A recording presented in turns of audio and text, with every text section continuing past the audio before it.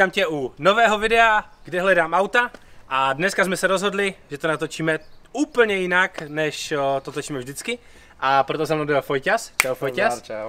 Ještě přijede jeden klučina, který se mi jde až z Brna a krom toho, že si ukážem nějaké bazary a portály, tak si ukážem i auto od kluku, hodíme si je do car vertikálu a pokecáme o nich.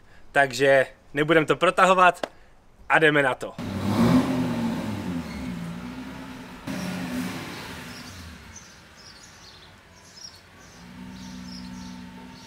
Ještě než se podíváme na Fojťasového Astona, tak si ukážem první dva portály, na kterých eh, hledám auta a které sleduju. Ten první je racecarsdirect.com a trošku mě překvapilo, že když jsem se teďka podíval, tak úplně první tady na mě vyskočilo auto od Melany, která ho prodává.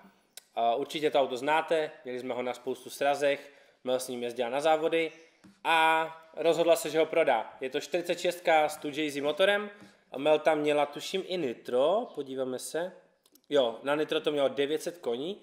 Já jsem to auto nikdy neviděl v akci, protože jsem nebyl na závodech, když Mel jezdila, protože jsem bohužel neměl čas moc jezdit na závody, ale co jsem slyšel, tak to auto byla šílená bestie. Amel ho očividně prodává. Prodává ho za 29 000 euro 500, což si myslím, že je docela adekvátní cena za to, jak je, jaké to auto je.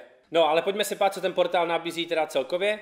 Je tady několik záložek, Race Cars, Race a Rally Parts, Race Car Transport, Rally Cars, Drivers, Pit Equipment. To znamená, že na tomhle portále najdeš všechno, co se týká závodění, depa, výbavy, prostě aut na přepravu prostě celého týmu a tak. Takže je to trošičku něco jiného, když jsme si ukazovali vždycky, ale sem tam tu bývají hodně zajímavé koustky.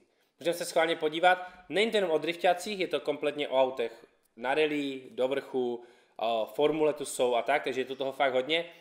A kolikrát je super se sem dívat, protože i kdyby, třeba tady, už to vidím, už to vidím, 100 tisíc liber, 100 tisíc liber skoro, nebo necelých 100 tisíc, Lola Porsche SRP. Tohle bych chtěl vidět v akci někdy.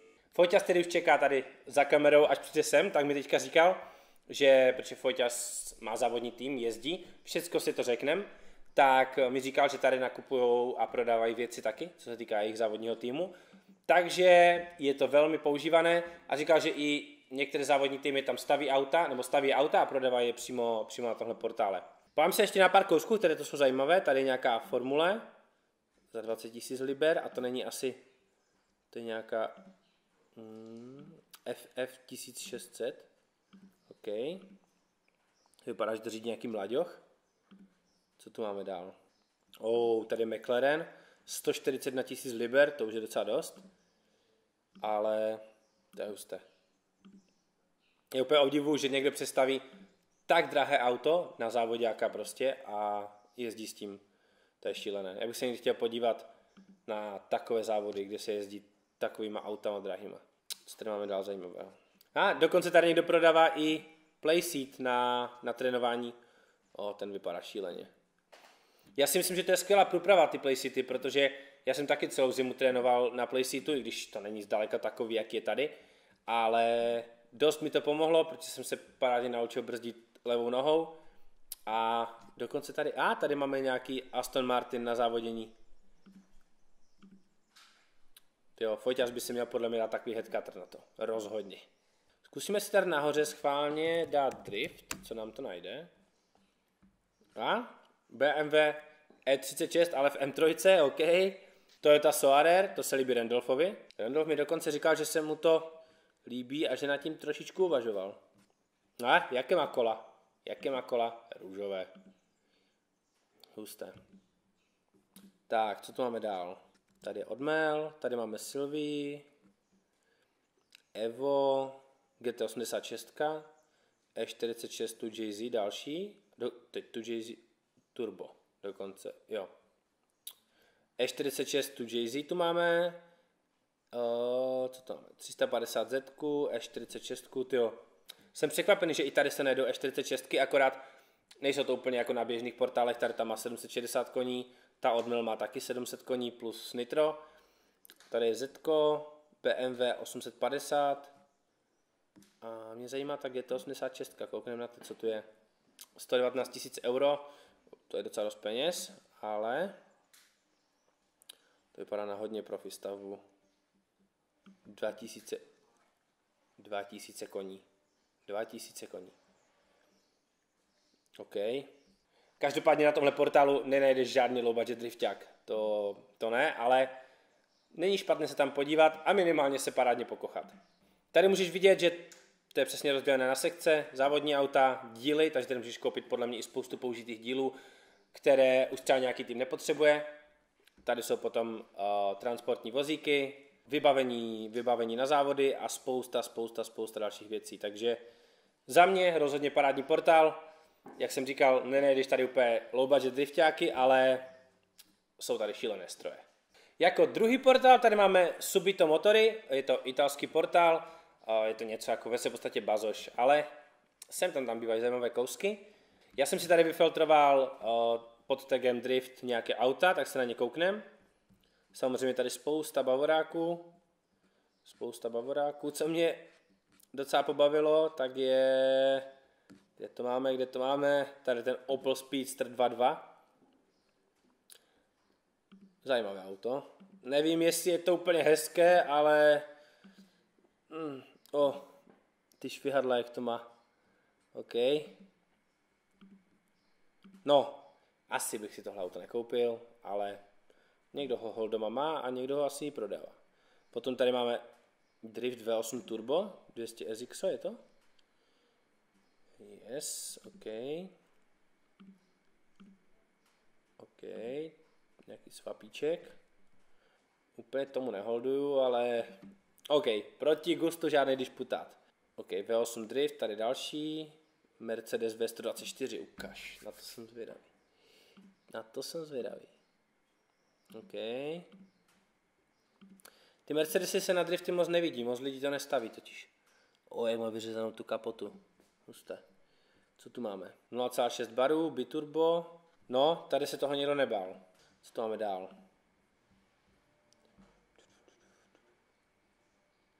Jak můžeš vidět, tak pod tagem Drift je tady spousta, spousta bavoráků. Tady je další 200 SXO za dost peněz. OK. Nissan Ultra Modelo. Jak můžeš vidět, je tady spousta bavoráků, ale zkusíme si tu schválně dát 200 SX, co nám to najde, jestli nám to nejde víc nějakých Nissanů. OK, yes, tady je Koukina, Zenky,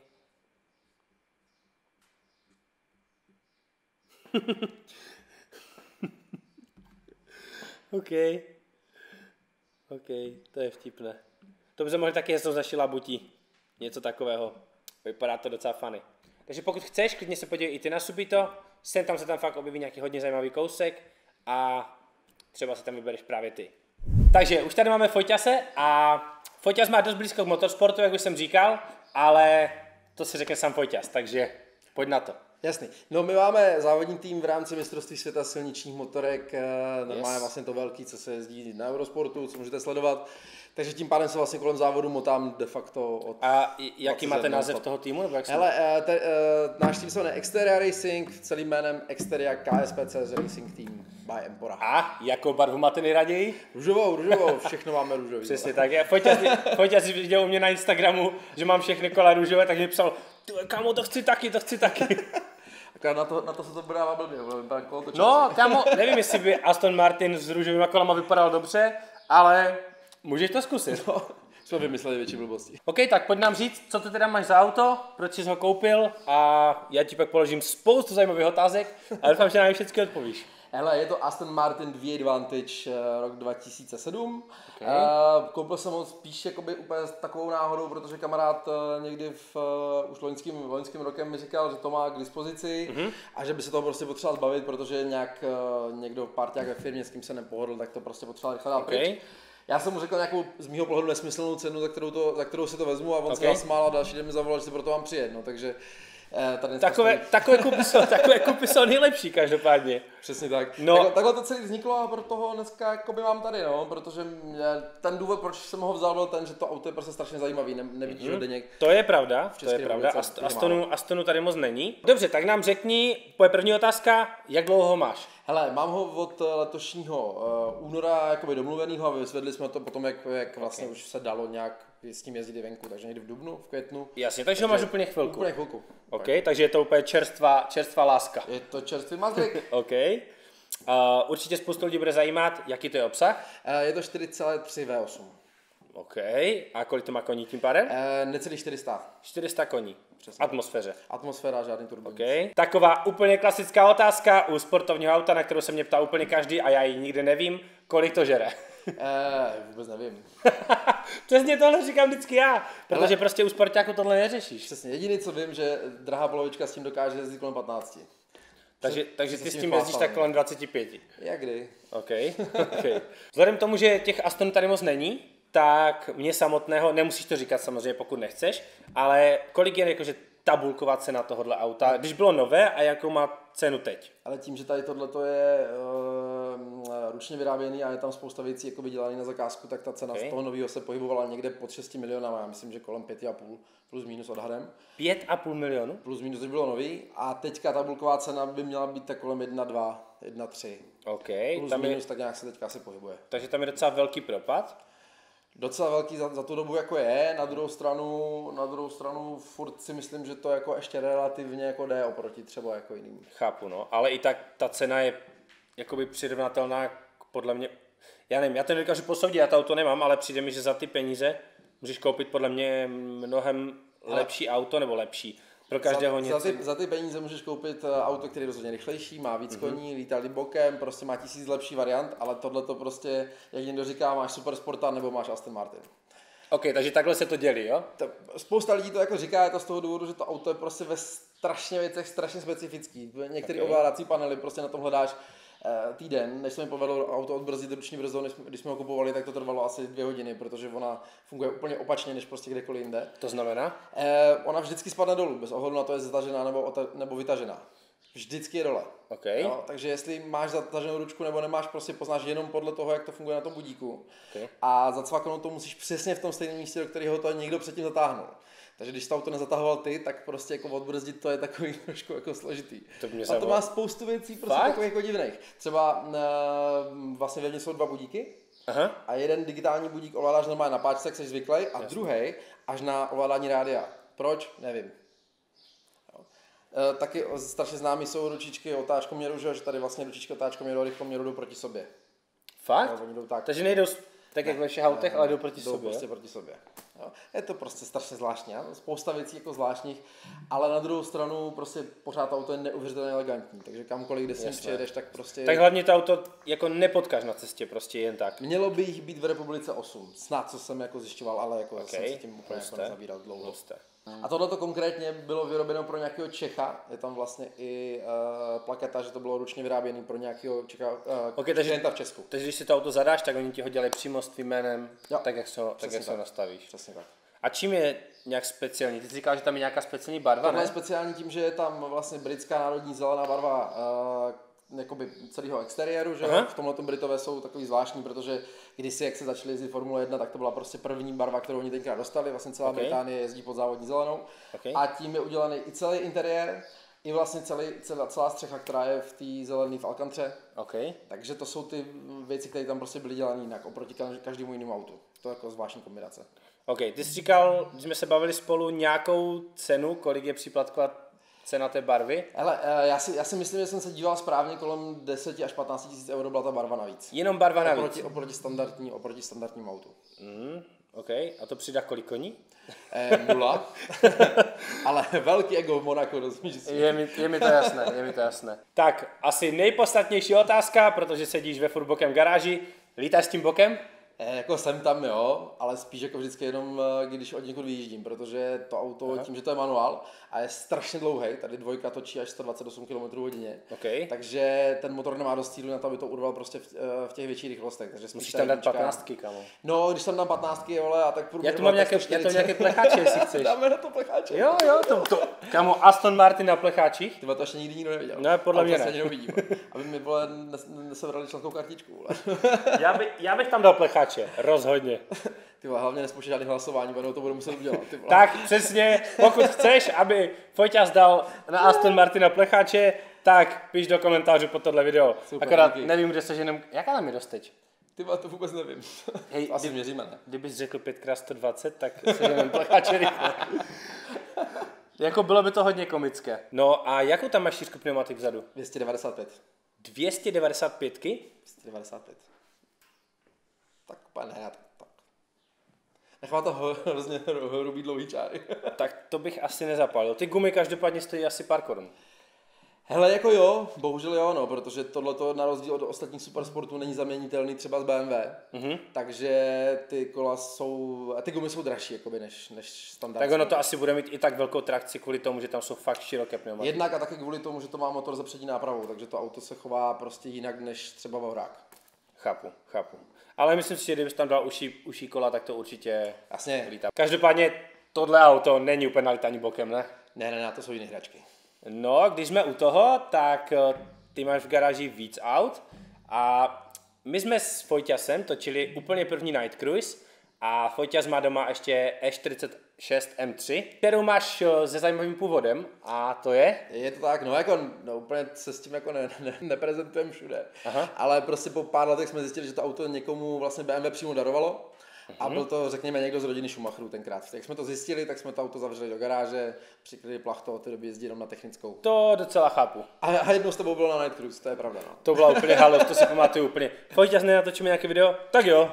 a jeli jsme natáčet. Já jsem takže... měl na značkách, přetojil na STK, myslím týden potom, mm-hmm. takže zrovna byl na značkách, tak se to tak nějak A chystá s tím nějaké úpravy nebo něco? Eh, dám ho úplně do původního stavu, protože okay. tam je, je, tam pár věcí, které se na to za, za ty roky udělali, než, okay. to, než jsme to jako zjistili takže to dáme do úplně jakoby 100% originálu uh, a tak a pak necháme stát prostě. A dopadneš jako já s Evem. A dopadnu jako ty s Evem, no. Hmm. Víš, jak jsem do tebe kéroval tak dlouho, ale jezdí s tím, jezdí s tím, jezdí s tím, ano. A jak jsem dopad? Jak jsem dopad? Špatně. Já jsem se od Fotě asi půjčil techničák a dali jsme si auto do kart vertikálu. No a úplně tě nepotěším, kámo, protože... Nebo takhle. To auto nebylo taxík. To je dobrý, ne? Ne, to nebylo. je to super. Kdo by s tím, jezdil, kdo by s tím jezdil taxík? Nebylo to kradené, nikdo tam neměl žádnou nehodu, ale jsou tam stažené kilometry. I to se za ty roky mohlo stát. Yes. Takže 2009 to bylo dovezené do Česka, sedí to? Já vůbec nevím. Nevíš? Já vůbec nevím. OK. OK, OK. Říkám, to byl tak jako emočně rychlý kup. To, tohle vůbec neznám, tyhle situace a nikdy jsem je nezažil. OK, odcizení tady není žádné, to je v pohodě. A tady jsou ty kilometry. Někdo to v roce 2009 údajně stáhl z 52 tisíc na 35 365. Nevím kámo z jakého důvodu, ale z nějakého asi ano. Ale tak jako, každopádně to auto je ve stavu takovém, v jakém je a myslím si, že to není, není až, tak, až tak hrozná závada. I když by mě upřímně zajímalo, proč někdo stahoval, stahoval kilometry na takovém autě. Jo, no, tak jako, víš jak, historie těch rychlých aut jsou někdy zajímavý. Já strašně rád na YouTube sleduju takové ty faily těch supersportů. To někdy dopadá hodně špatně s těm autama. Až je mi, až je mi kolikrát do breku, jak to tam někdo rozbije opatník nebo oslou. Jo, jo. To, to tak někdy je. Nezrobíš nic. No, takže je to stažené, ale jako není to nějak zásadně, je to prostě o OK. To. Je zajímavé, že to někdo stalo o 15 000, viď? No, sko, no, skoro o 20, no. nevím proč, nevím. Ale my se to nedozvíme. A teďka máš na to kolik? Teďka ona je těch nějakých 62. 62. 62. Ok, podle Car Vertical by měl být odhad 54, ale tak záleží, jak se s tím jezdí. Já jsem si taky najezdil, taky najezdil hodně, protože Jezdí s tím dost, jo? Prostě s tím jezdím, no. Ale já jsem viděl, jak si dával na Instagram uh, fotku, kde si dělal takové uh, hodně hady a hodně takových čát. Hady ne, mám si nakreslenou jednu fakt jako hodně dlouhou trojku. Trojku? Takhle. Proč jsi trojku? Protože to tak hezky vyšlo, víš, tady se to zatočilo, tady jsme zatočili malinko tady Je tak, krásný OK. Takže s tím děláš bordel, jsem Tak, tam. jsem tam, tam byly jetý gumy, byly potřeba vyměnit. Oh, chápu, chápu. Přece je nenecháš jen tak. Jsem potřeba vědět, že ten difrák funguje správně. je mi to jasné. OK. Jinak je tady všecko v pořádku. Já si myslím, že je to... A tady máme cenu. O, bylo dříve v prodeji za 1 319 tisíc korun. To jsme si říkali, že zhruba ta cena tak asi sedí, že Jo, teďka? jo. My, my, jak říkám, my jsme to jako vzali i z toho důvodu, že eh, na tom bylo pár drobností, třeba jako blbly světla a takovéhle věci, které mm-hmm. se na to museli udělat. Okay. A eh, tak jsme si říkali, že si ho prostě vezmeme, pojezdíme s ním vlastně tuhle sezónu a na konci roku zase půjde pryč a zase přijde něco jako jiného zajímavého. Jasně. A neláká tě spíš, nebo asi máš motorku, když máte závodní tým. To jo, ale tím, že prostě jsem závodník, tak prostě na tu cestu, co bych tam dělal. To chápu. A takže, takže motorky tě jako takhle nelákají, protože se vyřádíš Jasně, na, na okruhu. jasně, já, na, já jakoby silniční motorky mám dvě, ale ty mám jenom kvůli tomu, že jezdím sem tam s tátou. Mhm. Mm-hmm. A to, to, jsme si koupili, to, co jsme kdysi měli na plakátech, takže mám starou Hondu 900, před kterou jsem zbožňoval. C- CBR to je nebo? CBR, Jo, to, to, je úplně, to, je úplně nejvíc propálená motorka. jo, Zbožňoval jo. jsem to tak, jsem to, tak jsem to koupil za fakt jako pár korun. Aha. A to jsou jediný motorky, který má jezdím po cestě. No. Pak Jasně. ještě drahá polovička má pětistovku skuter a ten je někdy rychlejší než ten, než ten Fároš. Skutra. Pro rohlíky do obchodu. Jo, no, ale ten skuter má 40 kW, takže ono to jako docela letí. Husté. No a tady máme fotky, já už jsem se na ně díval teda dopředu. A to auto mělo nejspíš buď to žluté doplňky, anebo to byla jenom folie, těžko říct. Ale vypadalo to docela zvláštně. No, on, některý ty... Jako třeba to dolepení tady jenom pokud z těch sloupků mi přijde fakt To je divné. zajímavý, viď? Okay. Je, normálně, jak jsem to viděl, tak to, to musím zjistit, normálně, jestli tam někdo měl dodělaný jako foliema. Já si myslím, že jo. Prostě. Jaká tam je teďka barva vlastně? No ta, ne, to musela být folie, protože dívej, to je, to je originál zelená, takže já si myslím, že to je 100% polepené folií. Možný. Spíš někdo si to Protože ono totiž, pokud si to pamatuju správně, tak takováhle nějaká úprava bylo jedno závodní, eh, jeden závodní tým, nebo snad dokonce přímo Aston Martin to měl jako závodní eh, edici. Aha, aha. Ale tohle to samozřejmě není ona, že jo? Takže, No, no, jasně. takže to možná někdo podle toho jenom jako Já si, já si myslím, že na 90% je to folie, protože mi nedává smysl, aby někdo lakoval sloupky do žluta. To si myslím, že Pak to lakoval zpátky, až to, to překrýval další folii. To si nemyslím, to si nemyslím. Tak jo, Foťas, děkuji moc za návštěvu. Rád jsem tě se viděl. Spo, já tebe taky po dlouhé době. Spoustu šťastných kilometrů a doufám, že se uvidíme na nějaké akci. Jasně, těším Tak se. jo, měj se hezky. Čau, čau. Zatím, čau.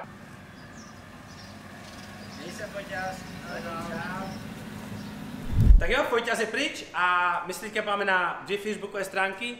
Ještě předtím, než nám dorazí kluci z Boskovic se Suprou. No a pojďme se teďka podívat ještě na dvě facebookové stránky.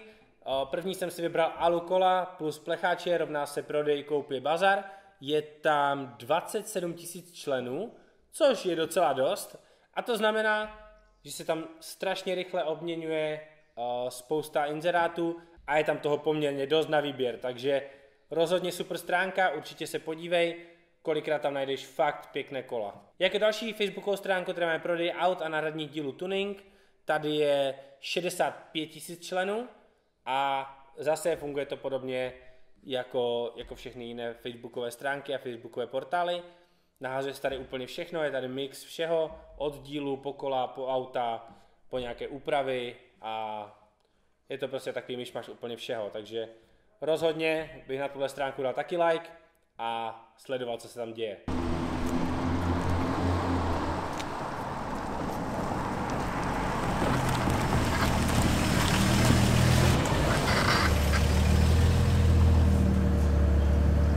Tak jo, máme tady dalšího hosta a vy jste přijeli odkud? Z Boskovic. Z Boskovic, to je u Brna, že? No, severně, kousek, tak kousek od 30, Brna. 40 Já jsem vlastně psal na Instagramu, nahrál jsem, nahrál jsem storku, jestli chce někdo natočit s námi nějaké video.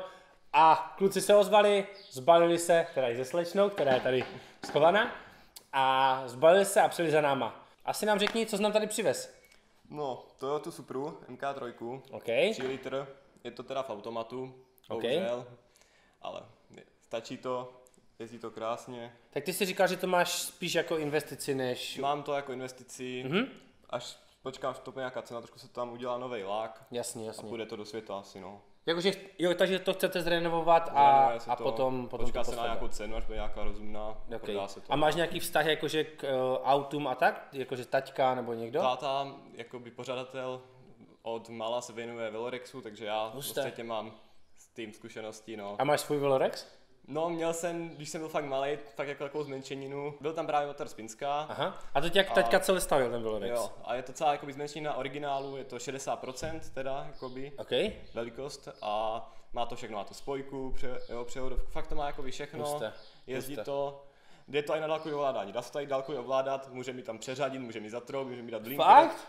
Všechno tam Husté. funguje. No a takže taťka staví Velorexy nebo renovuje nebo... No, on renovuje, no, většinou. Husté. S jeho kamarádem. Mají Aha. takový jako spíš jako koníček, není to takový práce. A A tak asi moc, nebo je hodně lidí v Česku, co má Velorexy, nebo... nemyslím si, že jich za stolik. Jako je dost lidí, ale že Aha. by to bylo nějak vidět to na ulici nebo někde, to Ok. jen tak nepotkáš. A asi. ty si říkáš, že pořádáte teda nějaký sraz. Pořádáme srazy, vždycky je to první víkend v květnu, Aha. bývá to v Boskovicích právě. Aha, Tenhle rok byl kvůli tady té Jasně, koroně jasně. a pandemii, bylo to zrušený, jasně. ale už je to teďka, byl, měl být teďka 24. myslím rok, právě už. 24. ročník? Mhm. Fakt? No. A, a kolik se tu sjíždí jakože lidí na, s Velorexama? Tak když se začínalo, že jo, to jsem ještě ani já nebyl na světě, Aha, aha. tak jako jich třeba moc nebylo, jo. říkal Jasně. táta okolo 20 třeba, Jasně, teďka, jasně, jasně, teďka jsme v průměru třeba 150 tady, jo, že Husté. jako A to hodně. asi nejsou úplně jenom Češi. Ne, ne, ne, jezdí z Maďarska, Nizozemska, Belgičan tam přijíždí, hodně Husté. Slováci. Husté. Takže ta komunita je jakože silná těch Jo, jo, jo. To je šílené. No dobře, ale pojďme se vrátit tady k tomu tvému kousku. Uh, jasně tam tak jako kámoše Fojťase, co tu byl, tak uh, určitě proč jsi to pořídil, to auto? Proč, proč zrovna tohle? Jak ti napadlo si pořídit na tohle? No, tak jako projížděl jsem tak nějak, bazoš se projížděl a tak. Aha, Bylo to za docela dobrou cenu, nebylo to v top stavu, musel jsem tam hodně renovovat. jasně. A kupoval to teda v Česku. Kupovalo se to v Česku A jak dlouho to máš, cca? tři roky. Tři roky to máš. Zrenovovalo se to a dal se to do garáže jako investice a nic se s tím nedělalo. Takže jsi to po mechanické stránce jakoby opravil a teď se budeš ještě chystat na lak a na tu estetiku. jo, jo. Já si teda tam ještě na pár otázek. Uh, jaký je to obsah? To říkal, že to je 3 litr, že? litr, no. OK, je to automat. Máš představu nějakou, kolik to žere, nebo vůbec nevíš? Těžko říct, ale myslím, jak, jak, jak kdy, no, těch 15, když se s tím 15. snažím. A ty s jako tím asi nejezdíš daily, to máš vyloženě fakt Ne, schované. fakt jako, no, je to Ok. investice, no. Tak to cením, že jsi to, že jsi to vytáhl z garáže a vyrazil, vyrazil tady za náma. Jako další určitě všechny zajímá, kolik to má koní ten 3 litr. Mm, Řekl bych, že těch 200, to bude mít těch 200. Okolo 200 koní, No. jo? OK. Kolik se to zhruba pohybuje? Nemusíš říkat klidně tu cenu, za kterou jsi to koupil ty, ale za kolik se to jako cca pohybuje na internetu. Ty, to je těžký, já jsem tak sledoval teďka těch 150 tisíc, myslím, že by Okolo to mohlo 150 být, no. tisíc, jo? V tomhle, v tomhle stavu a v automatu. Manuály, manuály asi To budou bude, to bude dražší. dražší, no. Tady to je jakoby takový to nejhorší z nejhorších těch super, no, ale je Ok. to furt super. No však to, však to. Sice to není MK4, ale, jo. ale i A tak. Mně se líbá ta MK3, mm-hmm. hlavně těm světlům. Mrkačky. No, Jo, jo. To mám slabost taky. Třináctka, to jak jedeš a pěkně si to rozsvítíš, to vypadá úplně skvěle. Další otázka, protože, jak už jsem říkal Foťasovi, jsme na furt bokem garáži, tak zkoušel jsi s tím lítat bokem, nebo vůbec? no, bojím se toho, takže Bylo ti to líto, že? Já, já to úplně chápu, úplně takový ten pocit. Mám to zkusit, ale co když se něco stane, já úplně vím, o čem jako mluvíš. respekt tomu autu, takže Ta, takže jsi to neskoušel. No a na daily máš jaké auto? na daily to, tak se to střídá, jako občas se vezme nějaký firemní, to je Panda, Fiat, tak, Ok. tak jaká, aspoň to nežere, jinak se jezdí Nissan Pathfinder, Mhm. Takže tohle máš prostě vyloženě, že to vytáhneš jenom úplně na takovou tu Jo. víkendovku a když se, když se s kámošema svést. no, jak, nebo si tam něco jiného. No, Velorex. Nebo, Každopádně ty jsi mi půjčil techničák, aby jsme se auto mm, prověřili na Car Verticalu. Akorát si řekl, že to nechceš vidět No. teďka, ale chcete to vidět až já ve videu. nechal překvapit. OK, takže až kluci odjedou, tak uh, si projdeme Car Vertical a vy to uvidíte teda až ve videu. No. Každopádně já jenom hned přijdu. Na to, že jste za náma přijeli, tak jsem vám tady vzal pár samolepek a trička, takže doufám, že vám budou akorát velikosti. Ty jo, díky moc. A není za co. Tak. A určitě doufám, že se uvidíme na nějakém stráze nebo někde. Určitě. Jo? Tak děkuji moc, že jste přijeli. Taky, taky. Díky moc, že vůbec takhle funguje můj Instagram, že to napíšu a banda se zbalí a jede za náma takový kus. Kolik to je? 200 km to je, ne? Nebo? No, já jsem že to bude tak 120. 120 to je, myslíš, moc že? nebylo. Ale Jo? cesta jsem byla horší, protože pak byly všude zácpy a všechno. Tak No jasně. bylo Takový... Každopádně si toho strašně moc cením. Fandím ti, ať uh, auto zrenovuješ tak, jak máš a ať pokračuješ v tom, co tě baví. Takže děkuji moc a měj se hezky. Taky. Zatím. Tak jo, pojďme se teda projít super od kluku, ať víme, jak dopadla v testu na Card Verticalu. Vypadá to, že je všechno v pořádku. V roce 2017 byla registrována v Česku, což tak sedí, že ji, no vlastně nesedí, on říkal, že ji kupoval na Bazuši. No, těžko říct, těžko říct. OK, takže 2017 každopádně byla registrována v Česku. Omezení použití vozidla a vlastnictví, všechno je v pořádku. Kontrola odcizení, všechno je v pořádku. Počet najetých kilometrů, bohužel nám tady neukazuje úplně tak, jak by měl, ale to se někdy hold stane, nevím, nevím proč, nevím z jakého důvodu to tak je, ale stane se to. Kontrola najetých kilometrů, všechno nám sedí teda, poškození, žádné tam není. Seznam zemí, ve kterých se provedla kontrola, je jich tu hromada. Změny dokumentů vlastnictví související s poškozením.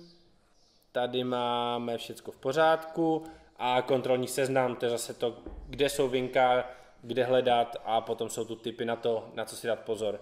Takže Supra dopadla podle mě mnohem líp než Aston. Já jsem hodně zvědavý, jestli kluci dají tu Supra dokupy, protože říkali, že většinou auta zrenovujou a pak je pošlou do světa. Takže uvidíme. Každopádně mě prostě ty starší auta baví mnohem víc a líbí se mi, že mají úplně jiný feeling než, než prostě nové auta plné elektroniky, které na tebe řvou a pípají a blikají. Takže já faním kluku moc a doufám, že se jim to povede. Tohle je pro dnešní díl úplně všechno. Díky moc, že za náma dorazili kluci. Díky za to, že můj Instagram funguje tak skvěle, že tam napíšu a napíšou mi desítky lidí, to je super. Doufám, že ti další bazáry a portály pomohly. Pokud si neviděl starší díly, klidně se podívej.